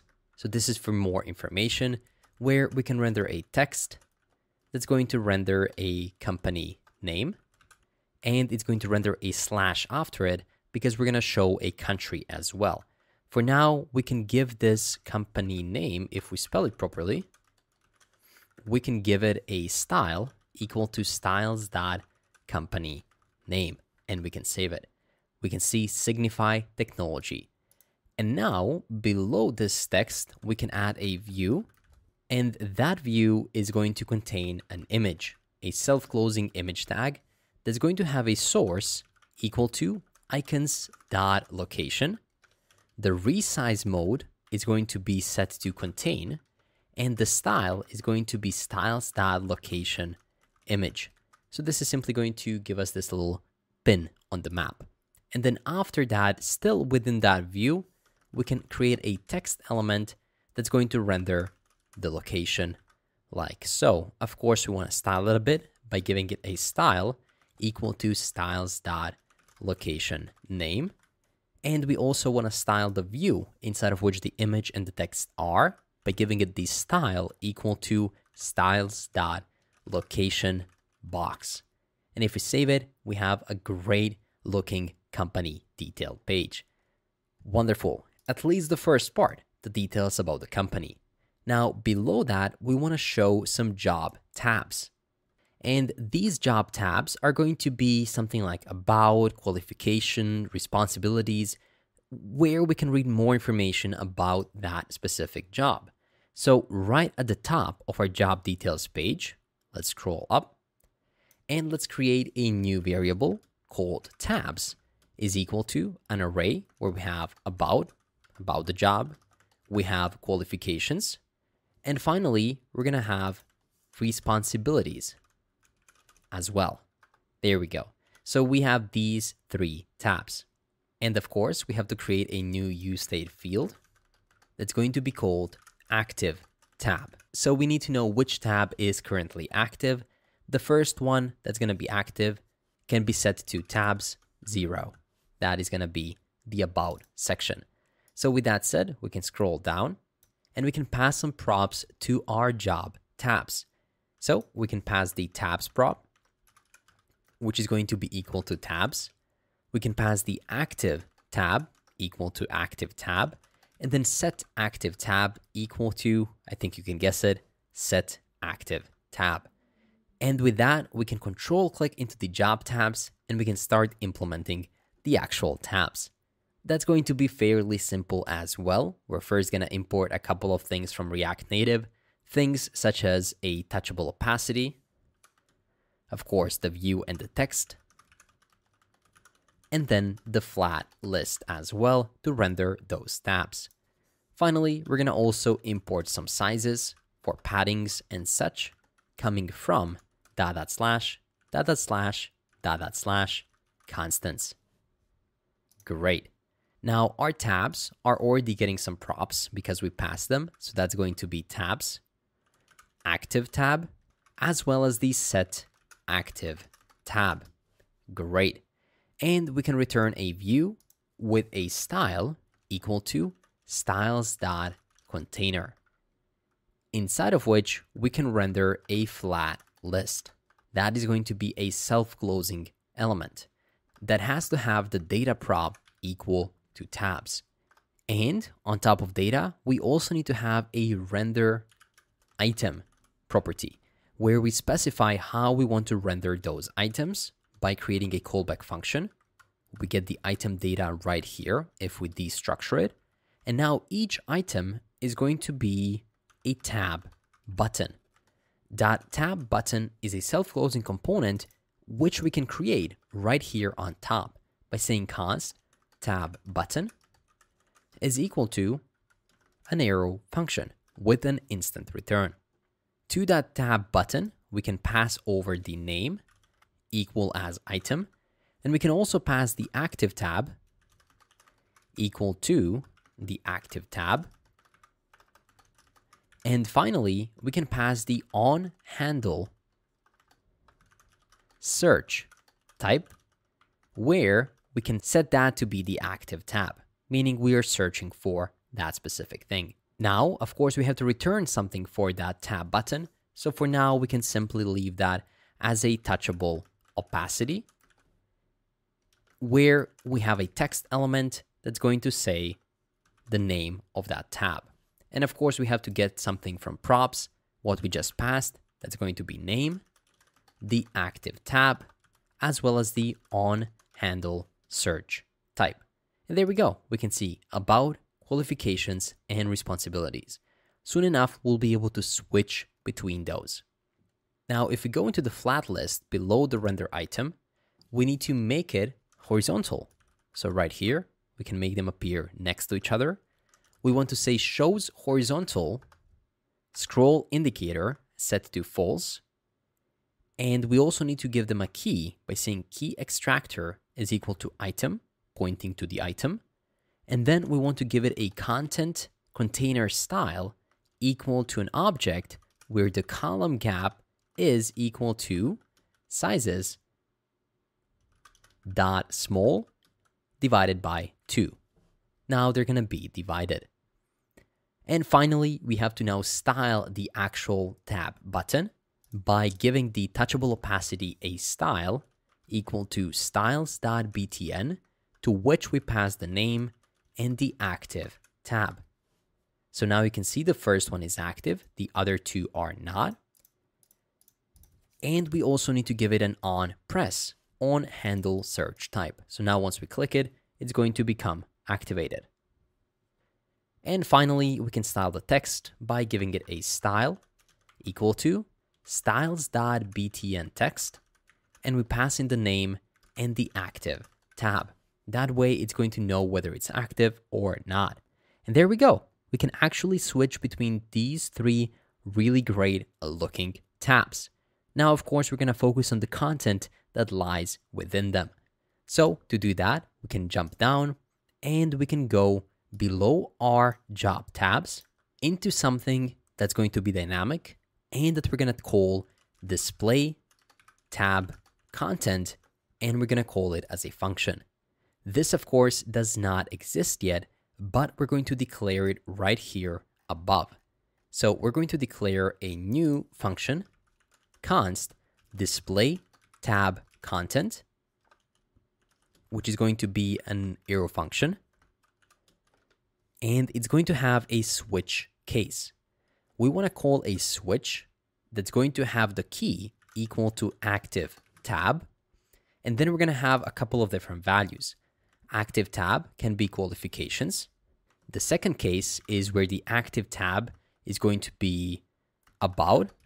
And then the third case is where it's going to be responsibilities, like so. So now we have three different cases that we can return some logic for. Let's first focus on qualifications. If we are in the qualifications tab, we want to return, we can return a component that we are yet to create called specifics.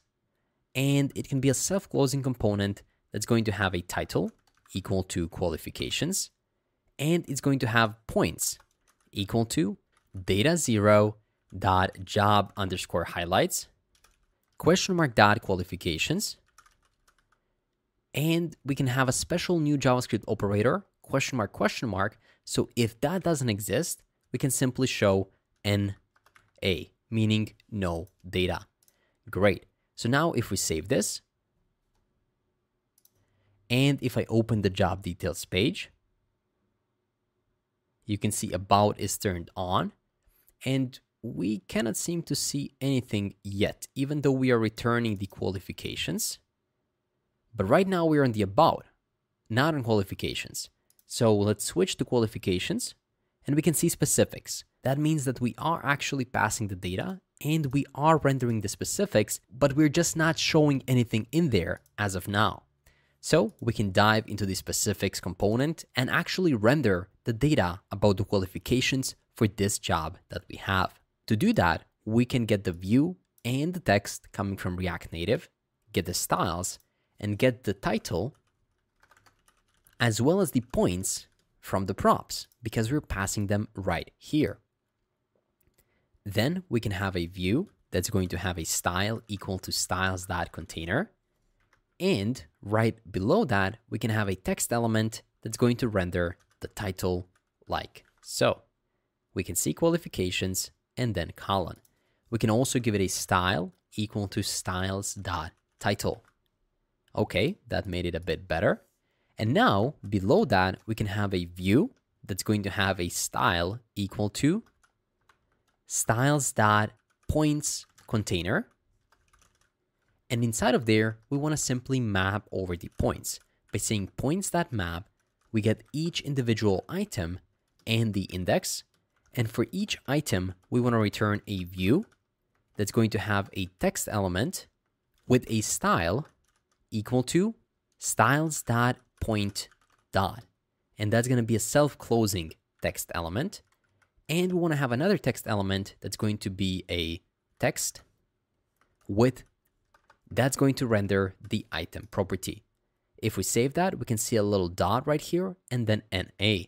So let's also provide a style to this view by saying style is equal to styles dot point wrapper and key is equal to item plus index to make it unique. Okay. Also, this is not going to be a text, it's going to be a view that's going to show that dot. And also the text is going to have a style equal to styles.point text like this. Now, if we go back and if we click on a specific job and go to qualifications, we can see an A. That means that maybe the data is not being properly fetched. So let's try to go to some other job as well. And we again see an A. Let's go for this Upwork full-time job. And we have an A. That means that we are not properly fetching the data for these points. So let's look into it. We're trying to do data zero dot job underscore highlights dot qualifications. And that looks good to me. But the API called this with a capital Q letter. Why is that the case? I'm not sure, but they did. So if we save this, we're gonna actually get full job data. In this case, it's just be fluent in English. But if we go to some other job, such as this senior React developer, we can see a list of full qualifications that they have. Wonderful. With that said, the first tab is done and we can move on to the About section. So if we are on the About, we want to return the job About. And we can provide the info to it. So we can say info is equal to data zero dot job underscore description or no data provided like this. And we can save that and jump into the job about functional component. This one is going to be even simpler.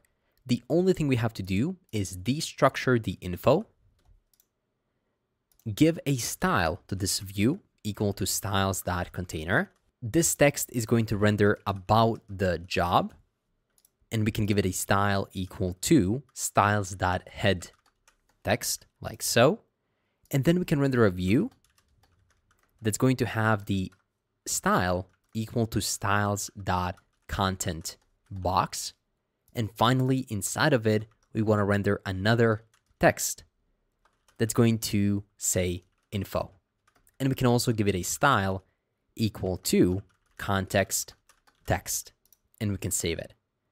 And now, if we go to the about, it breaks because the context text doesn't exist because it's supposed to be styles dot context text.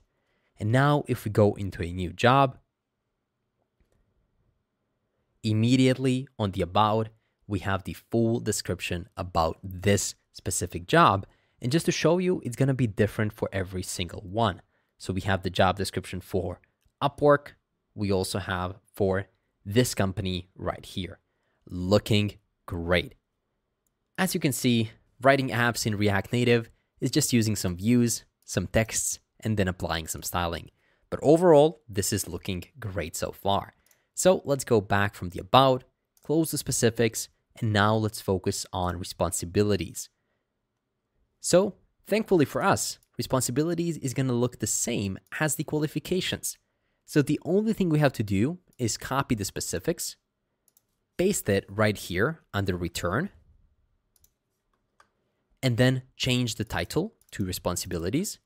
And instead of passing the qualifications, we're going to simply pass, you can guess it, responsibilities. That is great. Make sure to have the capital R right there. And now if we go into a job, we can see the about section, we can see the qualifications, and the responsibilities are NA in this case. But if we go to a different job and go to responsibilities, it's still NA. So it's possible that we misspelled something. Yes, we did. I spelled it responsibilities, but it's supposed to be responsibilities. And I need to change it all over the place as well. So there we go. Now I spelled it properly and we should be good. So if we hit responsibilities, we can see them. We can see the qualifications and the about the job as well. This is looking great. So now our entire job details is almost done, but we're gonna also add a button at the bottom so we can actually apply to that specific job. That's going to lead us straight to the browser. So it's actually going to open up a page of this exact job in the browser and then we can apply directly there. So let's focus on doing that right now by scrolling a bit down, going below this display tab content, which we recently did, below the scroll view, and there we're going to render the self-closing job footer component. The only thing we have to pass to it is a URL that's going to be equal to data zero question mark dot job underscore Google underscore link. So this is going to give us the actual link of that job where we can apply. Or if that is not the case, we can go to https colon forward slash forward slash careers.google.com forward slash jobs forward slash results. This is only if the job link does not exist, but that should not happen often. With that said, we can now control click into the job footer and implement it as the last part of our job details page. But as you can see, everything here is within the scroll view. That's really important to note. The scroll view ends here. So everything that you can see is going to be here. You can scroll through it.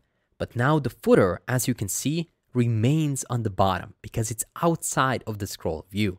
Just a thing to know.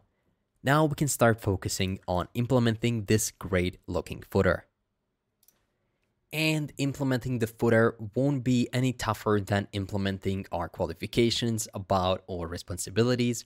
The only thing we have to do is import a couple more elements from React Native, such as the touchable opacity, the image, and for the first time so far, something known as linking. We can also import some icons that we have saved in our assets coming from dot dot slash dot dot slash dot dot slash constants. And we already know that we're passing the URL to our footer as a prop. With that said, we can give this view a style equal to styles.container. And immediately inside of there, we can render a touchable opacity. Within it, we're going to render the image that's going to have the source equal to icons.heart outline. The resize mode is going to be set to contain, and then the style is going to be equal to styles.like btn image. And if we save that, you cannot see anything yet, but if I give this touchable opacity a style equal to like styles dot like btn and save it, you can see this heart icon appear at the bottom. Now we won't do the functionality for this right now, but if you want to, you can implement something similar to local storage, but for React Native applications, and then like the jobs that you want. Great. But more importantly, below that touchable opacity, we're going to have another touchable opacity. And this one is going to render a text element that's going to say apply for job. That's what matters. That text is going to have a style equal to styles.apply btn text like so. And also to that touchable opacity, we can pass a style equal to styles.apply btn. And you can see how great that is looking. But if we click it, nothing happens right now. So let's give it an on press. It's not an on click, it's an on press. And we can say linking dot open URL. And we pass the URL we want to open. So now if we save this and click apply for job, it's going to open that specific job listing wherever it is posted on Google Jobs, LinkedIn, Glassdoor, or so on. And then you can directly apply right there. Isn't that great? With that said, our entire job details page is now complete. We can first find the job that we want, read more about it, get the qualifications, and get the responsibilities, as well see the type of the position and the name, the company name, what is the country of that company, and then we can apply for that job. Isn't that great? Now, right here, we can click on jobs, we can see their job details, but what we haven't yet implemented is the search functionality. So right here, when we type React, we want to be able to click and get only React related jobs, or maybe something else. That's going to be up to you. So let's close all of the currently open files and go all the way to our index, which is the home page. And now we have to pass some props to the welcome because in the welcome we have all of these little buttons and we have the search as well. And there we can do the logic for the search. So let's do that next. To our search, we need to pass our search term and the handle click button. So right here at the top of our homepage, we can create a new use state field called search term, set search term, and at the start, it can be set to an empty string, just like so. Now, to our welcome component, we can pass a search term equal to search term, a set search term equal to set search term, and finally a handle click, which is going to be equal to a callback function that's going to check if the search term exists. So if search term, and only if it does, it's going to do a router dot push. So it's going to push to a dynamic string of forward slash search, forward slash, and then search term. So we're going to re-navigate to the search page, which we haven't yet created. Great. So that's what we're doing right now. And now we can utilize that within the welcome component by going into it. And we can accept the props we just passed. That's going to be the search term, the set search term, as well as handle click. Great. Now, where are we actually going to use that? Well, of course, inside of our text input. The value of the text input is going to be the search term, And then on change handler, we're going to get the text and we simply want to set search term to be equal to text. In React Native, you don't have to do that e.target.value. In here, you immediately get the value. Great. Now, also, I think we have a button right here where we set active job type. There, we're already redirecting here. So I think we should be good to go. So if we save this file, now once we click the search button, we should actually re-navigate to the search. Or not yet. We are going to change the input value, but we have to change this search icon to actually do something. So right here, we have to use this handle click that we have created. Handle click. There we go. So now we're going to point to the search page. Now let's take our phone in the hand and let's type something like React and let's click search.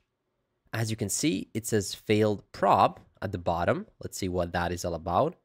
Failed prop. I think this is something not related to what we have done recently. We're going to fix that soon. But we indeed do get routed to a new unmatched route. And it's unmatched because we haven't yet created it. So we can do that next. We can go to our file explorer and we can create a new folder called search. Inside of the search, we can create a new file called square brackets id.js that means that it is a dynamic route. And this page is going to be almost exactly the same as our homepage. We won't have this welcome part where the search is, and we won't have the popular jobs, but we're going to reuse this exact nearby jobs list. The only thing that the search is, is essentially a list of different job postings based on that search query. So, for that reason, we'll be able to reuse most of the code we already wrote. So, down in the description, within a GitHub gist, you'll be able to find a file called search, and then you can copy and paste it right here. So, if you notice that we have a flat list right here, and that flat list is just rendering the same nearby job cards that we had before. So, nothing new. When it comes to the way we fetch data, you can see that we have the same search as we have in the use fetch we essentially call the API with a search, pass over the params, and make a request. So now the only thing we'll have to do is you'll have to add your own API key, which we can take from the use fetch hook. So if we go to the use fetch, you're going to have your own key right here, which you can copy. And then you can pass it right here into our headers, right here instead of this rapid API key. And that should be good.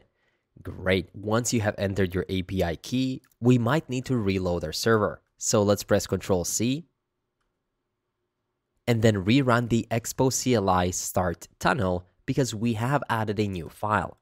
After you do that, you'll be able to rescan the QR code and we can check out our great search page. And there we go, we are on the homepage. And if I search for something like JavaScript, and press search, you can see that we indeed do get re-navigated to the search page, although there are some slight issues. We have invalid prop value of type object supplied to forward ref text input, expected string. So we can definitely look into this, but more so, we can see our search results. We got them back, and we also have a proper pagination built in place. Although at the top of our search page, you can see that we have some kind of an object object. So let's go ahead and look into that together. That's going to be right here. We can see that params.id is being rendered above the job opportunities. But for some reason, it looks like that params ID is an object object. What if we click part-time here? This time it works properly, part-time, and we can see the part-time jobs. If we click right here for contractor, we can see contractor. But only if we do a search and then click search, we have object object. So it must mean we're doing something wrong with the actual search. So let's see where that button is to search for jobs. It is right here, icons search. And there we're calling the handle click button.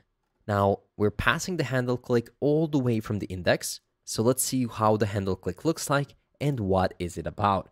We're going to router.push forward slash search forward slash and then the search term. So this is looking good to me.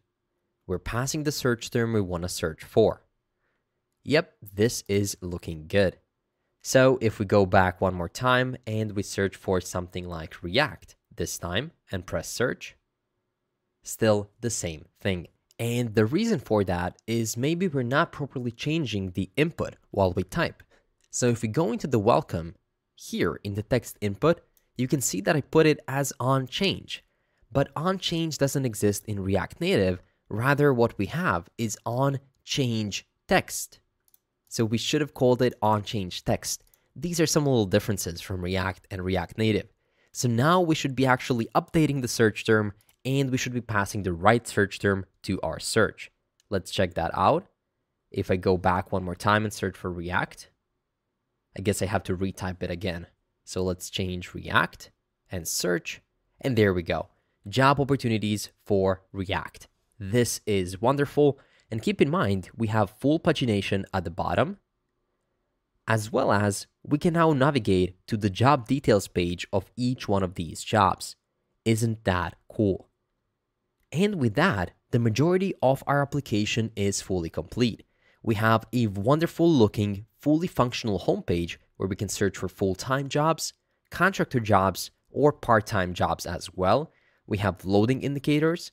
We have popular jobs at the top. We have nearby jobs right here. And we can open up the job details page of any of these jobs to see the about, qualifications, and responsibilities. This is looking great. Of course, the show all buttons right here are not working, the profile icon or the hamburger menu, but these are some of the things that you can implement on your own. So far, this has been a great introduction to React. I know that it might seem that a lot of code was provided to you, but that really is not the case. The only thing that was provided was the actual structure of the file explorer, but everything else, every single little detail, every single little component was coded by you. So now you know that we have some touchable opacities, images, we don't have divs, we don't have p tags, but we have texts and we have views. So I hope you really learned a lot. This was just an introduction to React Native to teach you how to develop this great React Native application. So great job on coming to the end of this video. It was definitely a great video and a bit different from what we usually do on the JSM YouTube channel. Now let's close all of the currently open files. And before we actually deploy our app to the internet so you can put it in your portfolio, let's do a final few fixes. You might notice that we forgot to add the routing on our popular jobs. So right now we can only open the job details from the search or from the nearby jobs, but we cannot open it from the popular jobs. So let's go into the popular job card right here. And here you're going to notice that we have on press, handle card press, which we're passing over from the popular jobs. So let's navigate to the popular jobs component and see what that handle card press does. It is here. Right now we left it as empty. So let's go ahead and focus on implementing that functionality. Trust me when I tell you it's going to be pretty simple. The only thing we want to do is call the router.push and navigate dynamically to forward slash job dash details forward slash item dot job underscore ID. And that is it. Finally, we also want to set selected job to be equal to that job. Now, if we save it and shake our device and reload, we should be able to navigate to one of the popular jobs detail pages right now. Let's test it out. Let's go with Prodware Solutions. And there we go. You can see the details. And it is also currently selected. So now we can go choose a different one. That works as well. They all seem to be working. That is wonderful. So we can just keep testing it out. For this one, we got no data. And this can sometimes happen, which is why we introduced that refetch function. So we can go into our job details, meaning the ID file, and here we have imported this use callback and we also have imported this refetch. So let's try making that work. Right here, we have created this on refresh function, which is going to be equal to a use callback hook. And we want to pass it a function that we can call with the dependency array being empty. There, we want to set refreshing to be set to true. We want to then call the refetch, and then we want to set refreshing to be false. Essentially, in here, we're going to make another call to this. And it looks like I misspelled it. That's going to be use callback. So now, if we try going through a couple of popular jobs again, you can see we're fetching, we got it, and we can try going through this to see if all the data is there. Yep, so far so good. We can keep going and everything is looking great. And the app feels so natural in my hand. You can just use it as a regular application. On iPhone, you can also switch back so you can see how native it feels like, right? You can go back to the previous page, you can open it up. You can apply to this job, for example, and it's going to open it up in the browser. That works as well. So you can keep doing everything you want to. That is great. Switch between qualifications, about, and you can open different jobs as well. This is working perfectly. With that said, our application is now fully done and we are ready to deploy it using Expo.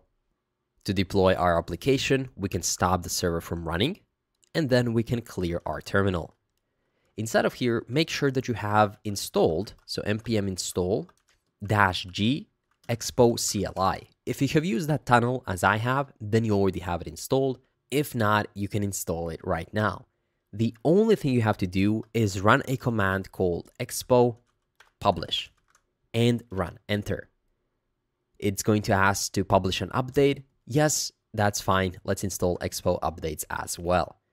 So this process is going to take about a minute and I'll be right back.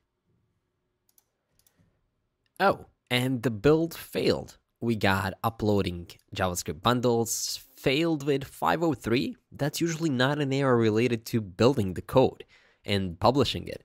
Uh, but this could be an internal Expo CLI error. So what I did is I just reran the expo publish command one more time immediately after, and for me, it worked the second time. So the publish was completed, which is great. So just so you know, if you do get that 503 or any kind of other error, you can just run expo publish again and it should work as it did for me right here. Now, if you control click the learn more page, you will be redirected to this site right here where it says when you successfully run EAS update for your project, a project page is created that shows your app icon and description and includes a QR code that can be scanned to open the app in some situations. The Expo client for Android can open any app, but due to limitations on the iOS platform, you're only able to view your own projects or projects published to a development team that you are a member of. Of course, if you want to be able to view it everywhere, you can deploy it to the respective app stores of your operating system. So, with that said, this is how that site looks like. This is the link that you can add to your application if you want your Android users to really quickly test it out. As you can see, we have the name of the application as well as the QR code which people can scan to open your application if they have an Expo Go application. Now, since this is not going to cover 100% of devices, it might be best that you showcase this project only with your GitHub repository, with your code, plus the screenshots of the actual application. And then if somebody wants to, they can run it locally and then play with it. Because this QR code is still not perfect. It only works with Android, and apparently if you scan it for the first time, you're going to get an unmatched route error. And then if you click go back, it's going to render the application. Apparently, there are still some issues with the Expo Go routing, so by the time that you're watching this video, that might have been fixed. If that is the case, you can go through the description and maybe there's going to be a fix there. If not, just showcase this project by showing your code and the screenshots of the application. Everybody else can run it locally if they want to. With that said, we've came to the end of building our phenomenal developer job search application. Thank you so much for staying with me until the end of this React Native crash course video, and I hope that you liked it. And as I mentioned in the beginning, in our JSM Masterclass experience, we also build an application just like this one, but you're gonna have to build it with the mentor help, with the help of your team as well. It's going to look something like you've just seen on the screen right now a complete developer job search platform. There we go. You can see it's going to have some latest job cards recommended for you and many more functionalities. So, if you want to really improve your developer knowledge, you can join us in the next JSM Masterclass Experience cohort.